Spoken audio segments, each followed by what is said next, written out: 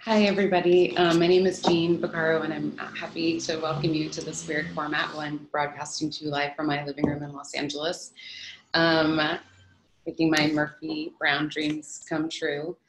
Um, so today's program is part of the One Archives at USC Libraries new online uh, formatting. We're here on Earth Day for a very special reading with poets Raquel Gutiérrez and Saretta Morgan, who are going to help us to think through ecological crisis and possibility in this pandemic. Um, Raquel is, I realized, Raquel, that we've known each other for 17 years, which is totally um, wild. And Saretta is um, a new friend who feels like an old friend. So it's really a pleasure to have um, them here and to have all of you here. Although we can't see you, we certainly um, feel you. Um, so as we were kind of thinking about how to approach this particular Earth Day and um, this moment where we're seeing, maybe some of you saw my little memes at the beginning, this idea that the Earth is healing or all these kind of um, fantasies of human sovereignty and questions around ecofascism. Um, we have been sort of confronted with the ongoing um, dismantling of environmental regulations, of colonial profit, of um, and the uh, extraction of indigenous land, of the detention of human life, and it's kind of questions around who is disposable, what forms of life are disposable. And so I was really excited to have a chance to think with Raquel and Saretta and for them to share their work with us today.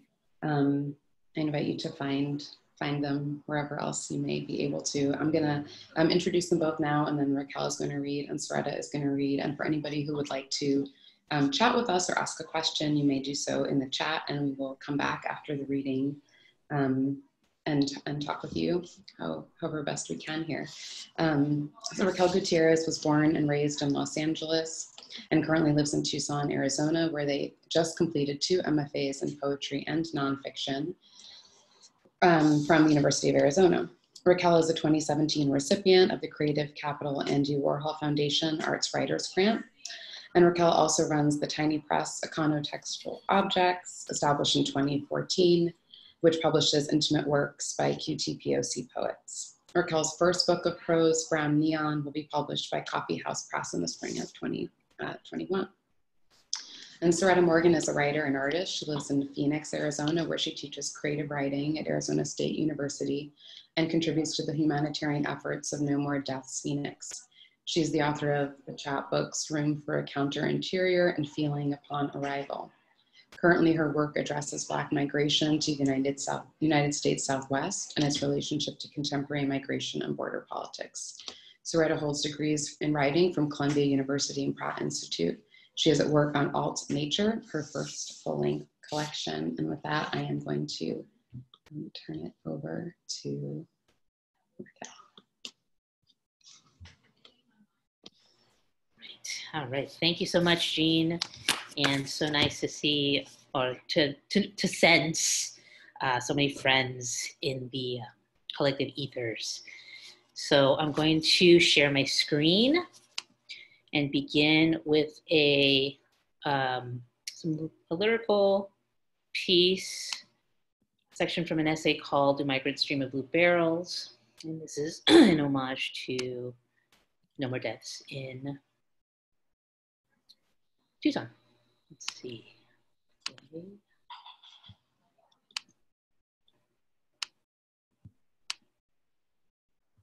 Okay, so we can see the uh, See my screen okay? Fantastic. Do migrants dream of healing elixirs, photosynthesize with the cancerous UV rays of the sun? Do they spot the plastic gallon bottles situated at the base of the ocotillos that obscure vultures and other carrion birds perched in wait? I go to Arivaca for lunch with A one late winter day a is a good friend of mine who works with No More Deaths. Another gender weirdo who's been this close to being charged with a felony for transport of migrants.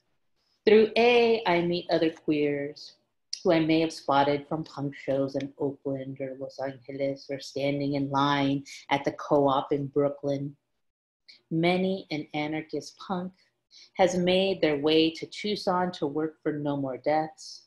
So much that No More Deaths feels like some kind of queer rite of passage into Tucson's radical communities, where any given Friday night there'll be a wild mesh and day glow, Bay Area style dance party, fundraiser for undocumented queer and trans people, or bail funds specifically for organizers caught in the crosshairs of draconian border policy. I love A's tales of hooking up with fellow aid workers that came through town for the summers only. Sex and No More Deaths had a very Platonian quality. The intensity of the work that took place there inspired a most unique eros. It was still quiet on the shore of the Arivaca Lake. Scott Warren hadn't yet been arrested for bringing provisions to migrants stuck in the safe house.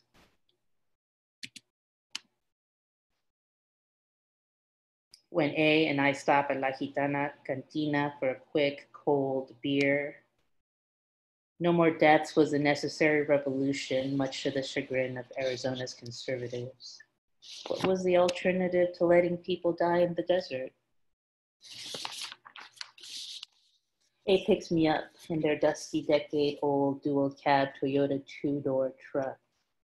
We stop at the co-op in Tucson for olives, anchovies, crackers, and kombucha before jumping onto the highway and through the mountain roads that spit us out three miles from the border itself.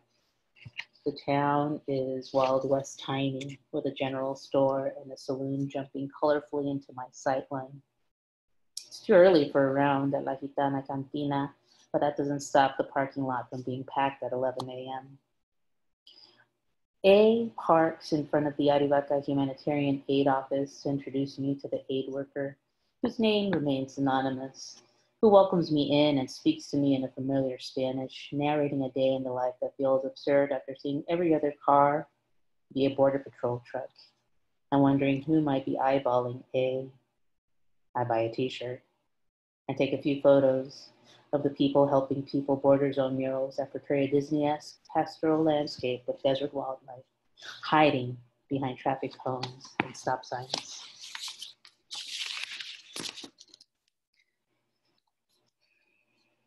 peak and so in you know thinking about our time together here in the zoom room earth day and thinking about the mode of relational connection via Zoom. Um, and you know, I'm thinking about the last uh, two, three years of road trips um, to and fro the Southwest through three deserts, uh, desert basin, and the Airbnbs that uh, ended up being my anchor points in some of these travels. So this one's called Mindless, Mindless Scroll for Joshua Tree. This is a poem. I take umbrage with the contagion of precarity. This was supposed to be our life, where the clouds in my coughing meant another mundane coyote trick. Now magic panics new dogma, a star-crossed pattern, hatched in shambles across an unaffordable sky. Hovering above every winter desert getaway lies a minimalism to accrue insulin and sell it back to the yellow, white, red, and black. Every four directions. Got an Airbnb for you and me. I hot tub under the Geminids.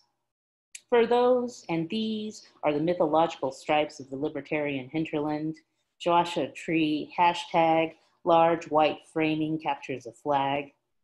I get the dopamine back upon waking a Uranus opposition. I am the desert excess in found object austerity. I refuse door to door to wish away the poor. Here self deception believes the lie. Here the moon song dream stutter washes over jumbo rocks until it disappears. Lips wrapped around me as a sun rocket cheers inside another paranoia, pale blue pyre. Here come the ancient good times where I get pulled over, a passport and over harvested sage bundle sends me on my way. You probably think Old Woman Springs Road is about you, The cool new lack, the acceptable poppers shake the tree, the paycheck to payback, the aging hipster economy invite me to parties and let me quarantine against manifest destiny's child. I might cut this pack of tricksters when they try to take my dog and call it divination for the settler state.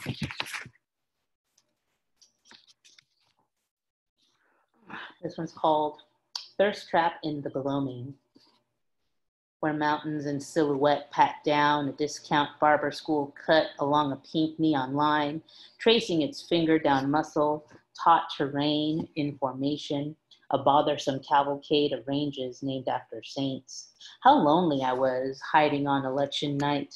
The darker it gets outside and the interior is closing in on me. Tomorrow, an unknown internment, Electric Blue music video like a greedy motherfucker still too proud to eat or consult urban lexicons while I Instagram every movement like stations of the cross. For the full moon promise of staying young, getting laid, a reluctant human sacrifice, bong watered into fruition by the time another cycle completes. The night is purpling into apology now where there will be lumpy tissue, my God. The good choices are getting harder to decipher, easier to fall into the same bullshit crocodile.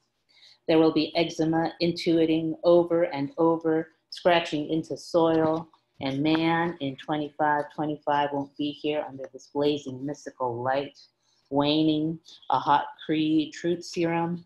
But in the meantime, to ward off the bad winds and all that is to come here without you. I write my book, Angel.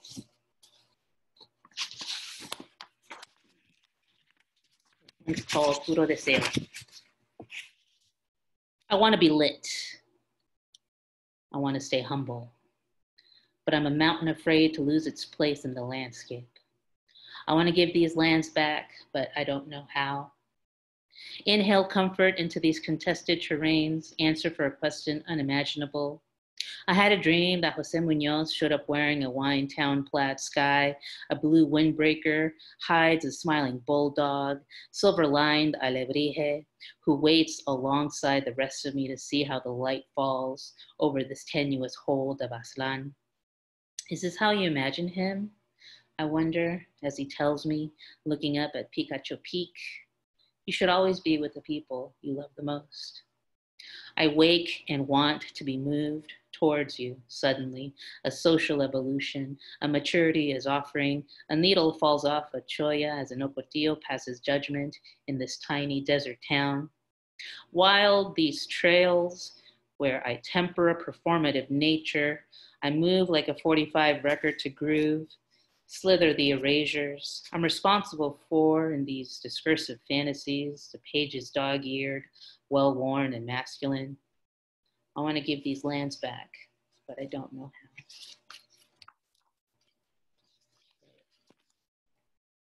So I obviously picked all the poems that had the word quarantine in them for the moment.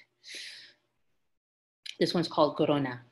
And I, this is not a new poem. I wrote this a couple years ago. This is not a new poem, Corona. And then there's the drive back to Tucson just before Picacho heralds the last remaining 40 miles to my bedroom. Here in the desert, the sand blows. It blows by quicker than 40 days of glory. Nothing is going to stop me from making it home this time except a message from a friend who marked his illness with a tattoo on his neck, a cancer da- down in the valley where no one can see unless he pulls his collar eastward in time for a sun rising, like anyone can beat back disease. There are other ways to put yourself in quarantine a fallow field, a miserable wind, and an even worse winter. The red kiss emojis find me when I need them out the window. The changing asks no one for permission. The film strip runs as fast as my foot on the gas pedal allows it to. And in time to welcome the night, it tempers my longing for a sun refusing to take off her crown for me. And this was when I would take road trips. Look how happy I was. Look how soft my skin looked. Look how dewy and young and possible. Thank you, everyone.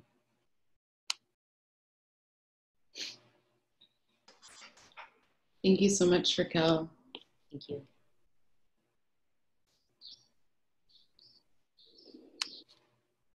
I'm going to find Saretta. Hi, here I am. Hey. Hi, everyone. Uh, so I'm gonna I'm gonna read some poems. I'm also gonna share some images. Um, so I'm gonna put up a screen share as well.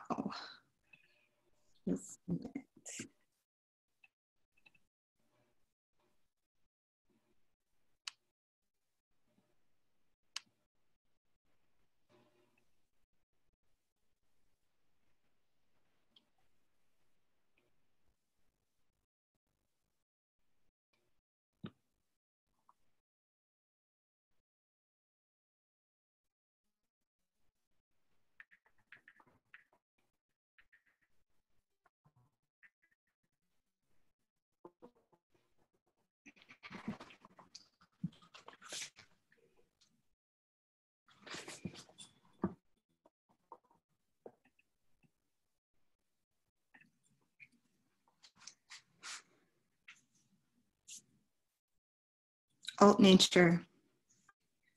The oldest public record of Black Death in the state of Arizona regards an loss to exposure. His skin then found in dry orchards on saguaro picked state of being exposed to contact with something else, even when making very little noise the brutality of thick air and money, mythos and disgust for what is fleshy yet unuseful, of the raw materials necessary to maintain life, which may be commodified. Water distinguishes itself through ease of portability. This is true, though on a clear day, it runs easily from one's hand. Along the edge of Pinal County, migrants discard what they no longer need and what might identify them as such shoes the texture of sea anemones, black bottles to hold water without reflecting light. Someone placed a child's weathered skull at the base of a cairn in order to be seen.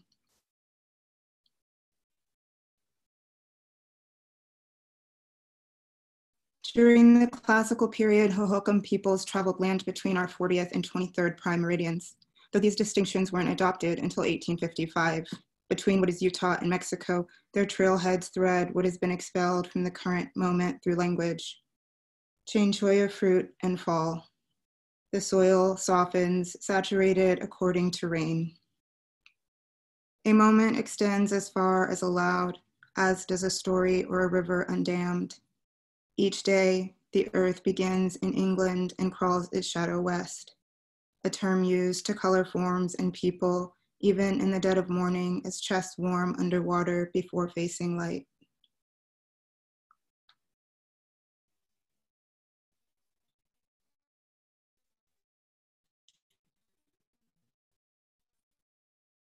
Light first enters the Sonoran Desert It's in the northern Gulf, where life includes endangered horned lizards that can fit in the palm of one's hand. Once plentiful in North America, the species is threatened through predation by domestic dogs and the displacement of compatible prey. Among known understandings of natural life in the United States is the sentence, as in, for the rest of one's natural life, which, unlike the sentence of life, does not imply or otherwise allow for the possibility of parole, which was anyway discontinued within Arizona in 1993 when the possibility of parole was replaced with a process which remains judicially vague. Today, due to imprecise and or language during hearings that occurred after 1994, hundreds of people serve time toward parole hearings exist. Insofar as a sentence is a set of words complete itself, every sentence holds its conclusion, its unique termination of a period of time Soft purple signals the end of night in southern Arizona, against which Clift Mountains silhouette into view. Tree frogs retreat in the depths of winter. Their bodies appear lifeless, as do gall moths, avoid internal freezing by emptying their guts.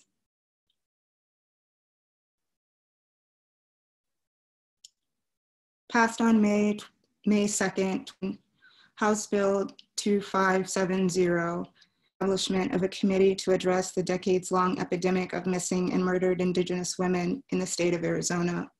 Among the many Indigenous women overlooking the Senate floor, Debbie Nez Manuel stood alongside her daughters holding a photo of her mom gone missing in 1973. Debbie was three, a child in Klagetoh, Arizona. Its caretakers, the land is known as Liito, water underneath. Her home built over a map of silent streams, the namesake still full of dark water, though in disrepair. The rest flow at geologic time in and out of view. Ability to enact time as a verb rests on particular understandings of the noun, the flesh and rock. Unlike most of the state, some Navajo Nation, some of Navajo Nation does observe daylight savings.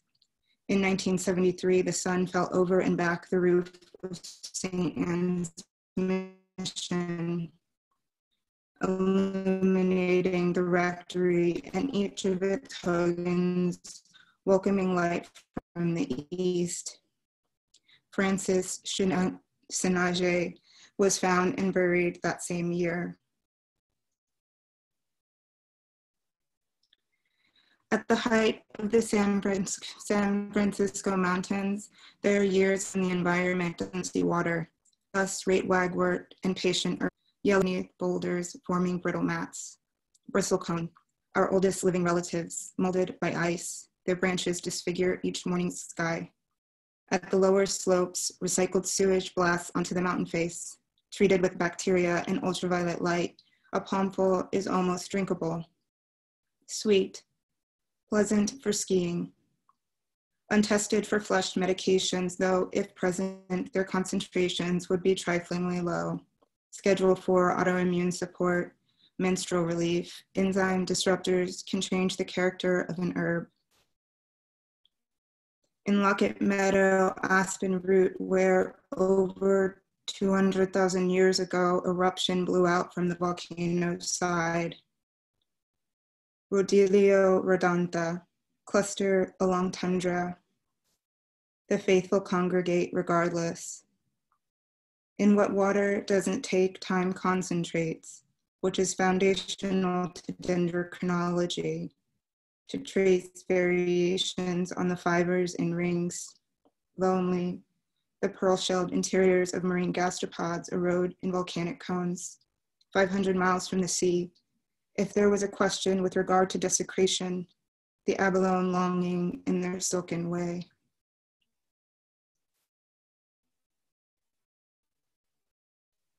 having been struck by lightning near Las Ciénegas, from which water flows north, eventually joining the Santa Cruz. A man, then unidentified, and fully flushed, condition code one, heard moving through the desert, thunder swaying Sacaton. His probable electrocution mapped into a database of migrant death are crossed infrequently by desert jaguars fond of streams. At 51 feet below surface, shallow, yet enough to support vast riparian species. The bell whose chittery call is identified by a two-part structure. His, his definitive response, breast. Intense lightning can bloom a tree and blush, however, catches fire quite slowly, peeling first the epidermis for minutes at a time, Next, the dermis breaks to release capillaries and fat, though often asphyxiation has already occurred. Riparian species mark the meeting of water and land, where cottonwoods, extending their gold-filtered crowns, optimize light, stratify sediments, and keep stream-dwelling species cool. So is that the lowland leopard frog will not blister. So is that the large cat's paw print remains fresh in the soil. I haven't done enough. And what I've offered has been with fear. At some point, it won't matter. I have a brother, I say, if a woman asks why I come east on the I-10 Phoenix for, toward Tucson, the interstate that south of Peak appears to migrate. Upon arrival, I'm demanded my name. A desert iguana abandoned her pearl back. The door unlatches, and there's another, two industrial fine interrogations. He wrote that he was cold, particularly at night. Everything was expensive. A watermelon seed sprouted outside of the shower, and for days everyone watched until an officer noticed. He needed money for a sweater. He was growing thin. It was very hard to sleep. My lover, she says, in the afterlife, there are everywhere watermelons. You pick one, another grows.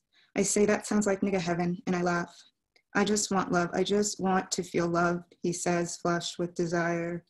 The bartender, the social worker, his supervisor, his girlfriend tell him it's time to go. He won't stop cursing, so I hang up the phone. He flew into the air when the truck hit him. I told myself, tuck and roll, nigga, tuck and roll. So he walked away with no injuries. But that night, when I came, fear staggering down the highway braided itself into my orgasm. Outside of Joshua Tree National Park, esteemed for unpolluted night skies, I met a sculptor from Pittsburgh. We were at the dog run, and hers was humping. She remarked that everything in this desert was dead or being hunted. After several minutes, which can be months really in dog park years, I offered that the inability to recognize life outside of the scale and terms with which one is accustomed is a serious problem in this country. And the call. One medicine helped him to mania which is the problem with misdiagnoses, which is the problem with incompetence and general. His body fractured again and again, unreachable through coexisting boundaries of vocabulary, vulnerability, and scale. My refusal to regard is a measure of defense and requires constant attention, slip under our bushes in through the the brood picked off one by one or two. The shelter provided to those who demonstrate signs of there's a name with that which is provided to those who can demonstrate relevant and imminent threat, depending on the country. Welcome to this country, he said, my brother.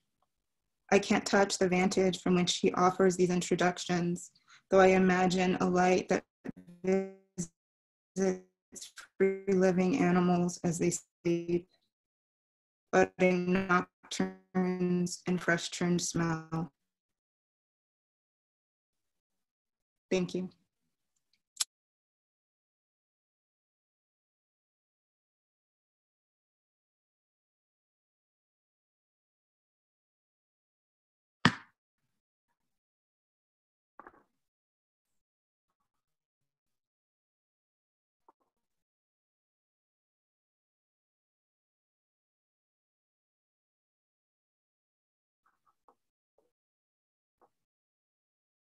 Myself. Okay. Thank you, Saretta. Thank you, Raquel. I'm gonna ask both of you to unmute. And Saretta, um, yeah, okay. And hi. I'm only muting my video when I take a sip of beer. So, um, so I'm gonna share some questions from the chat, if that's okay. Um, the first one comes from our friend Sarah Kessler, who has a who was curious about the relationship of images that were accompanying the text and asked if each of you might talk a little about your process of writing vis-a-vis -vis these spaces that you're both speaking about. Yeah.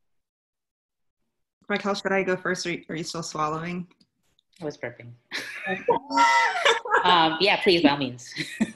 um, yeah, I think if with regard to this project, um, so the video, that video is about two years old. whereas all of the writing is between a year and maybe six months old. And um, the video I made when I first moved to Phoenix, and um, and also it was my first moving to Arizona, and it was kind of um, a way for me to engage with the landscape at a time where I felt like I couldn't enter enough to write about it. Um, I'd been looking through like a lot of archival photos, and um, there was one that really kind of that I still go back to. It's called uh, Negro Hauling, Hauling Home Water, and it's from Russell Lee's FSA collections. Um, and it's just a black man walking through the streets of Phoenix carrying a cart um, with canisters of liquid. And um, so I kind of I took that like formal um, piece from it and kind of reproduced them, and then took them out to water my own. Um, and it's like it's a project that I'm still interested in, but like when like put against the writing, I think there's something about that video project that um, it's very much about my own individual um, relationship to land and reconciliation and healing, um, which I feel is like it's never enough. You know, like when we think about healing the land and healing communities, like it's um, like it kind of has to be also about um, about resources for other people and kind of communal needs um, and that's where the text comes from is me thinking about the larger project of a reconciliation with the earth.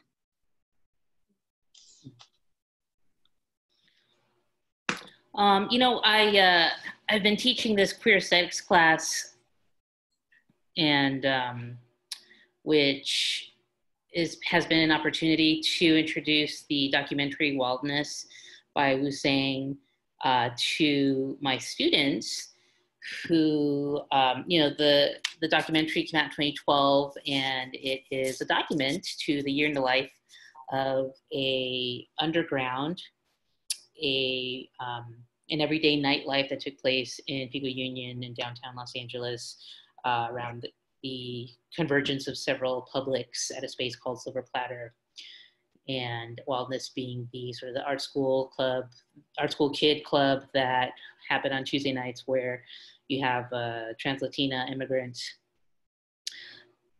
folk, people in the neighborhood um, have these uh, uh, moments, these uh, chance encounters with the um, sort of differently legibly privileged members of a bohemian class in uh, in Los Angeles, downtown Los Angeles. And so watching that film has also um, invited us to listen to listen to lectures by Jose Munoz and writings by Jose Munoz on the documentary Wildness, which was one of his last uh, um, readings, right? Critical readings of uh, queer cultural production. And so listening to the oral lecture, there was a moment where um, Jose rehearses this idea of the commons emerging in the space of nature. And so for me, that um, kind of, you know, uh, shocked everything into um, this new understanding of of of the desert, of um, of open space, of the of the landscape, of nature, the natural world, as a as a site, you know, as a space of contention for uh, for brown, black, red um, communities, and needing to understand the ways in which history animates these landscapes and the ways in which these landscapes are also receptacles for um, histories of, of desire and, and colonization um, and feeling like those convergences have been in some way what's um, animated my own thinking and, and, and work. So, um, you know, of course, being taken with the uh, sort of the, the, the, sensory information that is being caught in the uh, in, in the largesse of uh, majesty of nature, right? Just like a, a, desert sunset. Even seeing like a full moon rise in Joshua Tree, um, you know, on the same night as a as a meteor shower, as as the moon is rising, you hear people in in the distance just be like, yeah, woo, yeah, because the sun is because the moon is rising and it's incredible, and um, it gets um, to this moment where we're all uh, indulging in this collective howl, right? Anyway, so um, feeling like my my work is you know a convergence uh, around that. Thank you so much. We have lots of other questions about space and landscape. Um, so Saretta, just a quick question, because there was a little bit of audio like fizzling. Um, we missed the first recorded Black Death in Arizona. Oh, it's um. His name?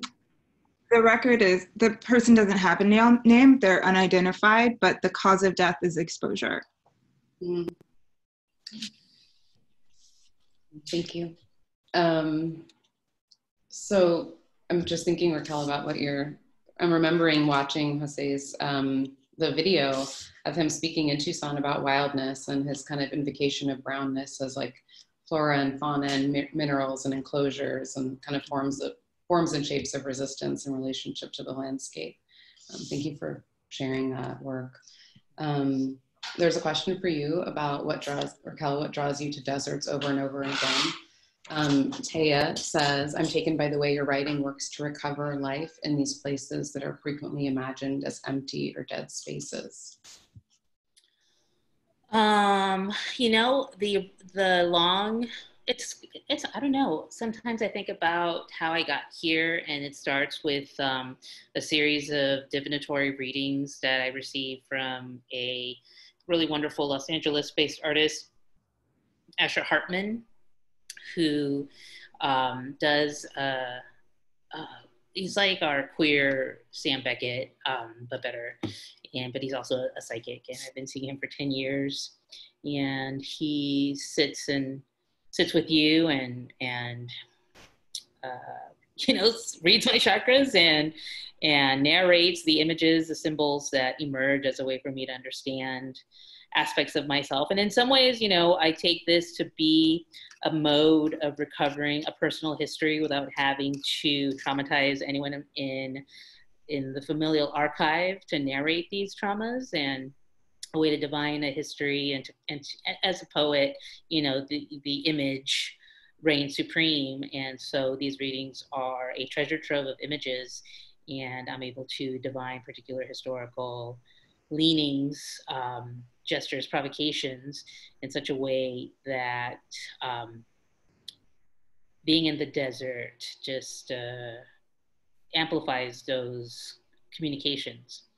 Um, also, you know, these meetings with Asher, he's been he's been seeing the Sonoran Desert in my in my symbols and my chakras for far longer than I've been here. So um, it it does it feels energetically uh, fraught just narrating that sort of like uh, that genesis you know to, to my being here. But it's um, a mode i think that is in um, it helps with that with with abstraction and it helps with not having to rehearse certain traumas or re- represent certain traumas in order to uh, you know make art make work make poems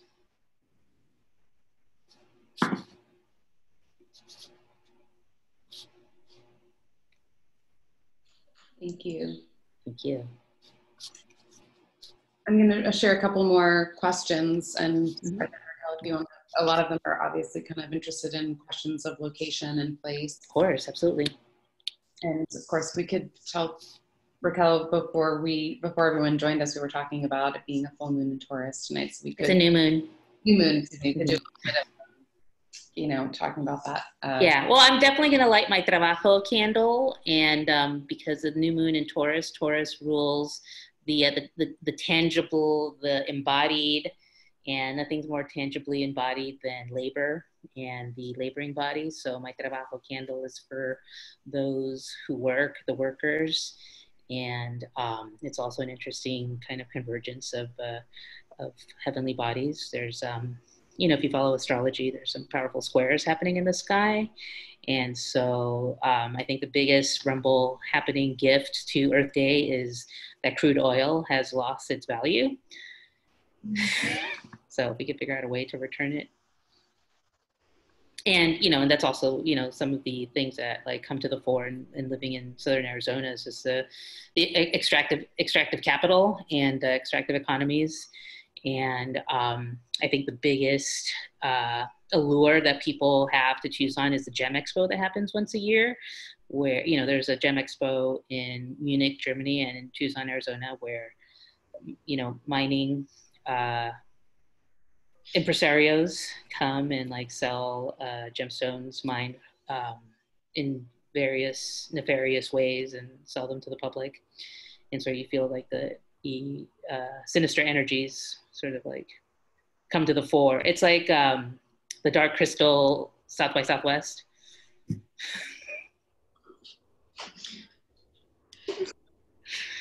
so. Um, we have a question from Michelle that I think relates to this, which is about um, Michelle asked, Do you believe a connection to the natural world is intertwined with a connection to the spirit world? I think that you both um, do, but I wonder if you could um, talk a little bit about that.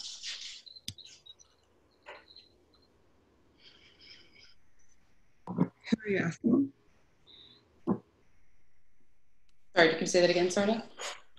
Who are you asking?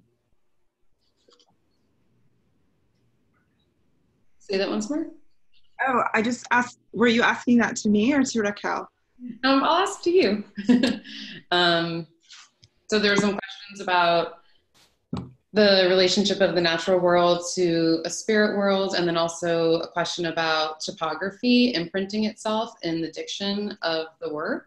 And so Ryan asks how much of the process was reanimating a past experience with place and how much of the process was influenced by the location of writing. Next. Yeah. Um, I don't know right now how to connect those two questions off the top of my head. Um, the first one in terms of spirit world and physical world.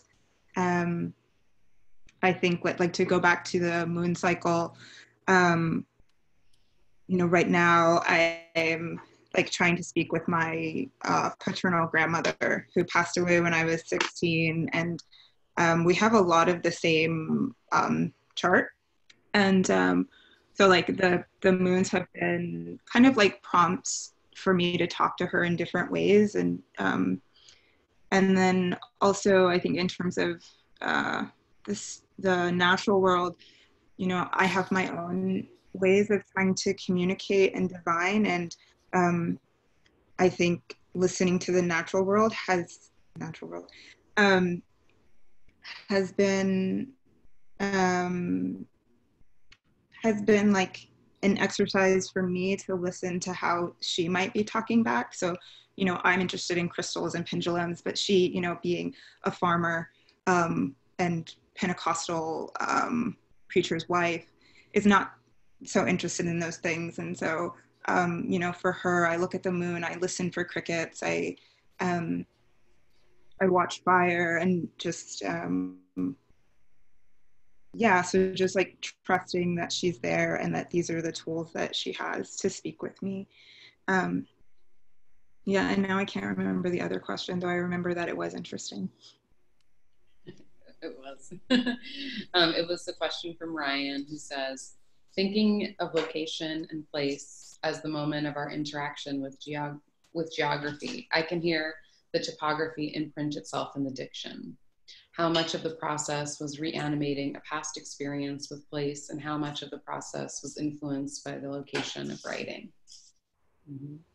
um, you know i often uh, when i have those moments of recognition in in the uh, in the in the material world the the, the unencumbered non-impacted by modernity world natural world um, you know there are there are i think signatures of um, you know ancestral signatures that that come and I ref, I've ref, you know I've taken note and some of those notes appear in, in some of my poems and um, I, I, often think of those as the ancestral seizure or you know to be seized by the by the ancestral uh, anima, the energy, and um, so.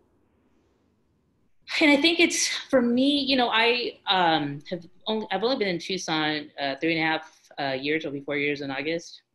And I came here for an MFA, and I knew I was going to stay here just because um, it was just it just my my head quieted down. You know, I just could hear things, listen to things. Um, but I'm from, you know, I, I'm born and raised in Los Angeles, and up until moving to Tucson, even when I lived in the Bay Area, I was a Los Angeles nationalist. You know, and, uh, Angeleño uh, to my detriment.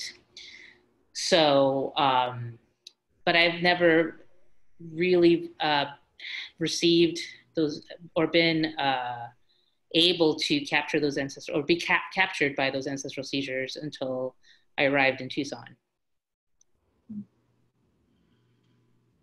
I don't know why. Yeah. I want to speak to that question about location. Um, I moved to Arizona from um, New York, and uh, before I moved here, I'd always lived on the East Coast.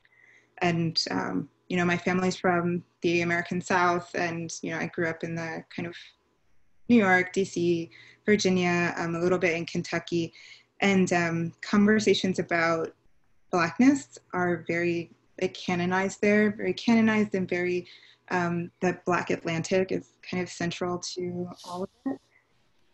Um, and so, like moving out here, I had to think about um, like the almost like the role of blackness here and how it manifests and how I manifest it. And um, like the questions, because of this location, are very different. Um, and so something that I became really interested in was um, like post um, post um, Jim Crow or like post Reconstruction, like um, towards the end of Jim Crow, like Black people moving to the Southwest, and you know, at that time when, as a national project, kind of Black people were deciding what it meant to be free and a citizen in the United States. And so, like, how do those questions shift? And those kind of um, like the structures around them in terms of like churches and farming and land ownership and access to education you know how do those questions shift in relationship to the desert here and you know like near the us mexico border and in really really explicit relationship to indigenous dispossession and um, extraction um, in a way that was i think more hidden and it's easier to not talk about um, when when people are na- um, narrating black experience on the um, east coast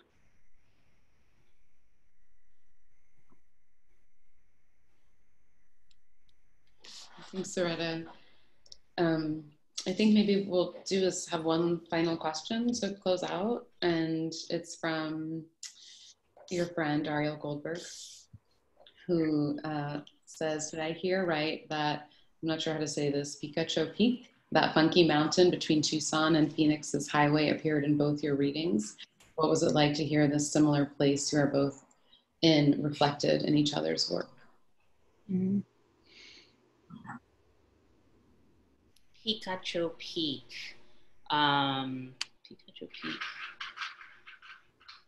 Well, the thing, you know, for me, Picacho Peak will always be that um, visual marker that I'm coming up onto Tucson. Um, or if I'm leaving Tucson, when I see it, I know I'm, I don't know, Picacho Peak. Um, I don't know if I have a cool answer. I think I like the alliter- alliterative, alliterative um, element, um, the road trippiness. Mm. I mean, I you know I appreciate uh, Saretta's work as just um, echoes to um, Black critical witnessing to uh, to Arizona to Phoenix, which is really distinct from Southern Arizona and um, and you know when I understand um, you know, the thing about the air base, the military bases here, right? That's what brings, uh, or what's brought uh, Black communities to Arizona the military, and feeling like those are front histories that, um, I mean, Tisa Bryant uh, always reminds me that she was born in Tucson on the Air Force Base. And uh, I always think about, um, or even just um, the uh, in El Paso, the, the presence of military, and especially the the young black men who um, came to a lot of uh, aid in, during the, um, the Walmart shootout. I always think about just like, oh man, the military bases and the ways in which our, our communities um, uh, encounter one another, right? So Picacho Peak, I don't know. I don't. I think it's it's great. It, it's a great echo in Saretta's work. Um, it just makes me think more about the ways our um, sort of poetic, critical witnessing as, mm, you know, I'm thinking about like, oh, am I, am I an outsider?